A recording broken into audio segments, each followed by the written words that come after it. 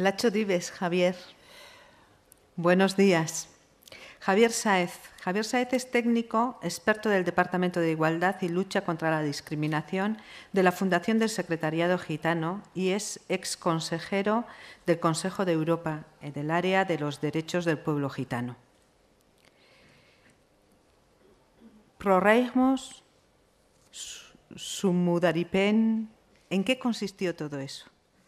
¿Cuál es el origen de la romofobia? ¿Cómo situamos todo esto en el holocausto? ¿Qué nos cuentas, Javier? Bueno, Lacho Dibes, egunon.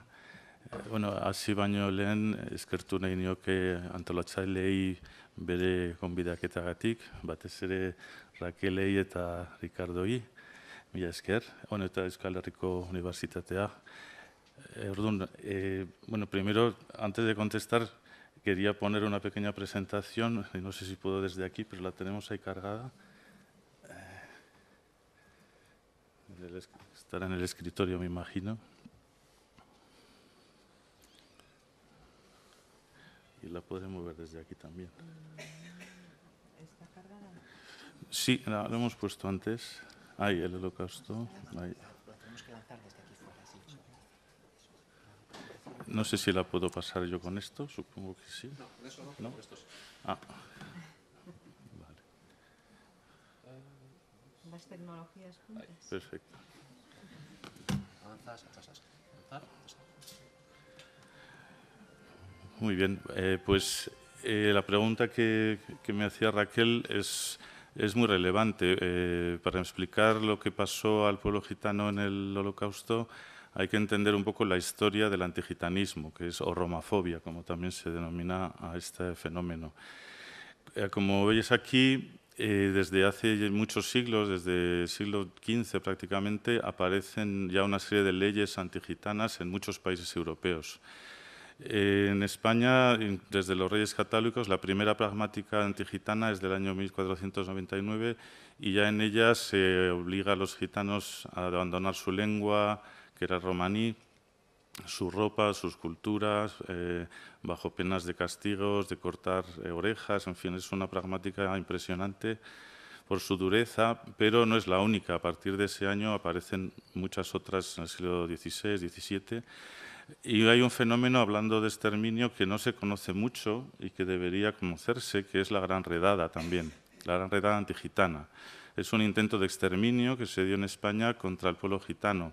La idea surgió del obispo de Oviedo, es, eh, Vázquez Tablada, y fue implementada por eh, el marqués de la Ensenada y por el rey Fernando VI. Bueno, implementada, fue alterada. Finalmente se decide no exterminarlos, sino encarcelar a todas las personas gitanas que estaban censadas. Esta barbaridad eh, fue muy traumática, se, hizo realmente la misma noche, el 30 de julio de 1749, se dio orden a, todas las comisarías y se apresó a casi 15.000 gitanos en España. Fueron enviados a prisiones, a galeras, arsenales, bueno, en situaciones muy precarias y fallecieron una gran parte de ellos y de ellas porque esto se prolongó durante más de 15 años. Eh, en Moldavia, en Rumanía, por ejemplo, otro dato que no se conoce mucho y que también es muy impresionante y muy explicativo de, lo que, de cómo viven todavía hoy los gitanos rumanos es que eran esclavos. Cuando hablamos de esclavitud solemos pensar en África, en América, en Estados Unidos.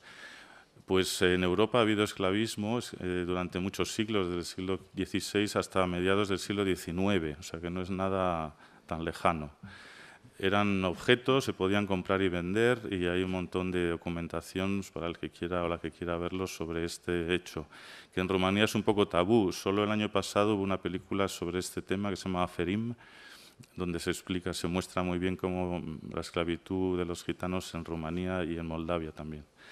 Es decir, que ya hay un caldo de cultivo eh, muy profundo, antigitano, en toda Europa desde hace mucho tiempo, y eso va a explicar un poco lo que pasó después. En Alemania, ya centrándonos un poquito más en el holocausto alemán o nazi, eh, ya hay unos precedentes. Ya en, en, finales del 19 hay una serie de leyes que hablan de la plaga gitana y se plantea que el ejército alemán debe controlar a los gitanos alemanes.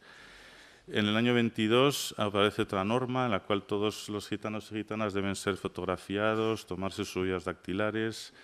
En el 26 otra ley que se llama Control de la Plaga Gitana. Como veis ya en estas leyes aparece un, un recurso muy conocido del nazismo y del racismo en general, que es lo que llamamos la deshumanización. Es decir, se priva de humanidad a ciertas personas, como a las personas judías, a los gitanos también se les trata ya como animales, se dice que no son seres humanos, se compara con perros, ratas, he visto ese tipo de discurso. Ese tipo de mecanismo prepara las condiciones del exterminio. Si deshumanizas a alguien, es más fácil hacer la, barbaridad que se cometió después. Por eso palabras como plaga son importantes, porque ya están deshumanizando a estas personas. Ya en el año 27 hay un fenómeno curioso de campo, que se conoce poco, pero hay un campo, no es de exterminio todavía, pero sí de concentración, se ingresan 8.000 gitanos, eh, y ya desde el 34 se comienza a esterilizar a mujeres gitanas, y una ley eh, impide el matrimonio entre alemanes y gitanos, judíos y personas negras ya pasamos a lo que pasó realmente bajo el nazismo. Eh, ya en el año 39 la Oficina de Higiene Racial publica una serie de normas y se habla de que los gitanos son una enfermedad hereditaria, de que la solución es la eliminación. Esto es importante eh, por lo que traemos a colación hoy. Es eh, muy conocido, obviamente, que el gran eh, perjudicado. El gran objetivo del exterminio nazi fue el pueblo judío, sin duda, pero es importante recordar que el segundo grupo étnico objeto de exterminio fue el pueblo gitano. Aquí vamos a ver algunos ejemplos. Eh, ya en el 40 empiezan los experimentos con niños y niñas gitanos para probar el, gas eh, ciánido en Buchenwald. Todos se fallecieron y eh, ya en el año 41, como todo el mundo sabe, se descreta la solución final, que es la idea de exterminar a todos los judíos y judías y a todos los gitanos. Eh, la primera acción que conocemos fue eh, en, referente a personas gitanas en Crimea, ya en el, pero hay, a partir de ahí un montón de, de acciones. Eh, Auschwitz fue designado, fue el campo que más gitanos y gitanas tuvo, de hecho incluso se le llamaba una parte el Sigoine-Lager, el campo de los gitanos, y el 1 de agosto hubo una de las acciones más eh, llamativas, donde se, de la noche del 1 al 2 se gasearon a casi 3.000 gitanos, por eso se celebra el Porraimos, que ahora comentaré esta palabra, el 2 de agosto eh, cada año pero además de esa noche, durante tres o cuatro años se exterminaron a casi 250.000 gitanos en Auschwitz y en otros campos hasta medio millón o un millón. Ahora veremos que hay un problema de datos por eh, la forma del exterminio. Eh, porque en los campos sí se sabe más o menos eh, estos datos, pero luego había otra forma de exterminio que era lo que se llamaban los, los grupos de asalto, las patrullas móviles, Einsatzgruppen, que eran grupos eh, nazis que em, ejecutaban personas en los pueblos, en los campos, en las carreteras, es decir, que había exterminio no solo en las cámaras, como es conocido, sino unidades móviles que iban por muchísimos pueblos de toda Europa, donde se sabía que había gitanos o, judíos, por supuesto, eh, con lo cual, claro, aquí no queda un registro muy claro porque no había censos, no había eh, el registro que hay en los campos. Pero bueno, Em, a partir de esa realidad móvil eh, se, calcula entre medio millón o puede que hasta un millón de judíos y judías fueron exterminados. También se usaron para experimentos eh, médicos eh, con Mengele, que seguramente han oído hablar del doctor, y Aguitar, que dirigía la Oficina de Higiene Racial. Las cifras. Eh, se ha estimado que casi el 80% de toda la población gitana de Europa fue exterminada, o sea que la dimensión para el pueblo gitano pues, fue enorme. Como decía, 250.000 casos sí están documentados de exterminio. El historiador gitano Ian Hancock eh, proyecta estos datos hasta un millón. Eh, los, los, grupos móviles de los que hemos hablado y algunos ejemplos en Yugoslavia se conoce fueron 90.000, es casi el 90% de los gitanos de los Balcanes, la Unión Soviética 35.000, Rumania 36.000, Polonia también y el 100% de los gitanos de Estonia, Lituania, Luxemburgo y Países Bajos. un dato importante para hacer pedagogía, para explicar qué pasó y cómo prevenirlo, es la colaboración de la sociedad. Claro, esto no se produce por las buenas. Si ya había, como hemos explicado, un calvo de cultivo antigitano y, por supuesto, también antisemita en, toda Europa. Y, además, algunos gobiernos colaboraron directamente, es decir, que internamente en sus países exterminaron a judíos y gitanos. En el caso de los gitanos, eh, Croacia, Rumania, Chequia, Hungría y Eslovaquia, bueno, en esa época era Checoslovaquia, eh, exterminaron también a, gitanos dentro de su país. También parte de la población alemana eh, participó, hizo delación de los dos grupos en Alemania, son Sinti y Roma, los dos grupos gitanos que existen todavía. También hay una cosa muy curiosa en, lo que pasó después, eh, que también de algún modo señala este antigitanismo del que estamos hablando eh, en el sentido del reconocimiento. Quiero decir que fue muy tardío, eh, muy mal hecho y con muchos problemas. Un dato increíble es que en los juicios de Nuremberg no se citó a ninguna víctima gitana, no aparece en los juicios. Hasta el año 82 Alemania no reconoció a las víctimas gitanas. En 2012 ya ha levantado un memorial, un monumento que hay en Berlín. Y hasta este año el Parlamento Europeo no reconoció a las víctimas en los actos de la memoria que se celebran en enero. El holocausto gitano se suele llamar también por Raimos, que en romaní, es la lengua de los gitanos. Por ahí es eh, devorar, por Raimos sería la devoración, o también se usa samudaripen, que es otra palabra que significa devastación o aniquilación. Es lamentable, creemos, que no se enseñe en las escuelas esto que estamos hablando hoy, ¿no? que es algo importantísimo para prevenir el racismo, para prevenir este tipo de, actitudes. No se enseña el holocausto gitano, no se enseña la gran redada en España. el hecho de que hubiera un intento de exterminio de un pueblo no se conoce. Nos parece que es un fallo pedagógico. En la Fundación Secretaría de Gitamos intentamos hacer educación también, ¿no? pues campañas, vídeos, materiales que podrán ver. Nos parece fundamental para prevenir, porque de hecho estamos viendo un nuevo auge del nazismo en Europa, de la extrema derecha. Ayer en Italia un líder de la Liga Norte casi gana las elecciones. Tenemos grupos antigitanos, partidos políticos de derecha Jobbik en Hungría, ATAC en Bulgaria, eh, en fin, alternativa para Alemania. La extrema derecha neonazi alemana está siendo la segunda fuerza política, o sea que hay que aprender y hay que hacer mucha educación para prevenir todo esto.